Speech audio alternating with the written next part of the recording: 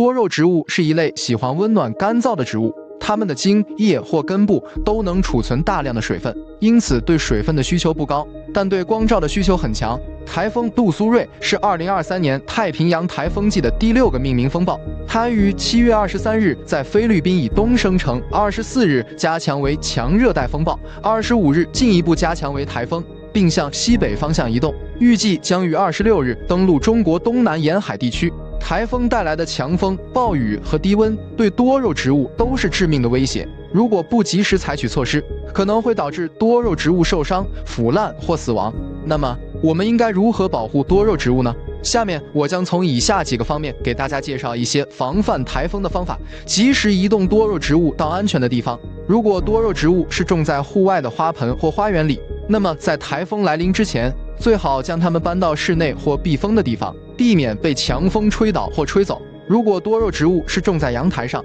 也要注意将它们放在靠里的位置，或者用布或塑料薄膜将它们覆盖起来，防止被雨水打湿或冲走，避免暴晒和积水。台风过后可能会有一段时间的晴朗天气，此时要注意给多肉植物适当的遮阴，避免阳光直射造成晒伤。同时要检查多肉植物的土壤是否过湿，如果有积水现象，要及时排除或换土，防止根部腐烂。如果多肉植物的叶片上有残留的雨水，也要用纸巾或棉花轻轻吸干，避免滋生细菌或霉菌，给多肉植物增加支撑和遮挡。如果多肉植物是长茎或攀援型的，那么在台风期间可能会因为风力过大而断裂或倒伏。为了防止这种情况发生，可以给多肉植物增加一些支撑物，如竹签、铁丝、木棍等，将它们固定在花盆或土壤中，增加稳定性。另外，也可以给多肉植物增加一些遮挡物，如网罩、纱布、塑料布等，减少风力对它们的影响。以上就是我为大家介绍的如何保护多肉植物免受台风杜苏芮的侵袭的方法，